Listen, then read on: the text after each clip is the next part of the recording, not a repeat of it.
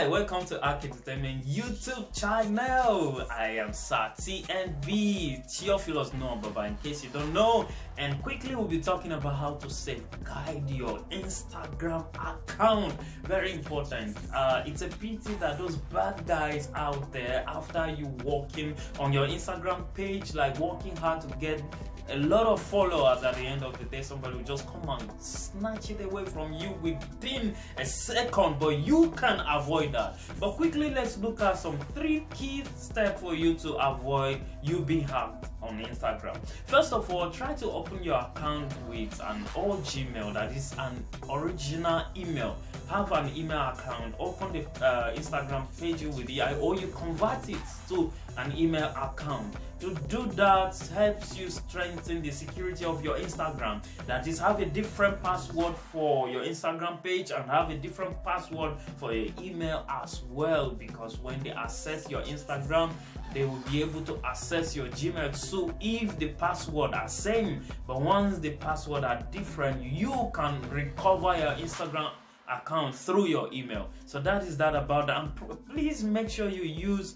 a unique password. Uppercase, lowercase, um, digits, uh, special character, that is symbol. And then number two, let's quickly look at number two. Turn on two-factor authentication. Two-factor authentication. To do that, you have to go to your profile and you click those three dots up there by the right. Check them, they are up there. And then you click on the security and then you click on two-factor authentication then follow the procedure it's quite simple make sure you use text message option to activate it and then three stop avoid stop clicking phishing links very very important just stop clicking links sent to you by unknown people. These are phishing links. Once you click on them, they might bring another page that look like Instagram also asking you to um, enter your email and password to be able to access. And once you do that, your account will be hacked.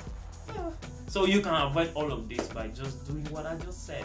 Now, if this video is useful to you, click that subscribe button below and help us to, yeah, yeah, yeah. In a short while, I'll be doing another video on how to safeguard your WhatsApp and Facebook. And then from there, we take it up. I'm telling you, it's going to be awesome with this channel. But make sure you share this video to friends, subscribe to our YouTube channel, our Instagram pages, and all that. Thank you. God bless you.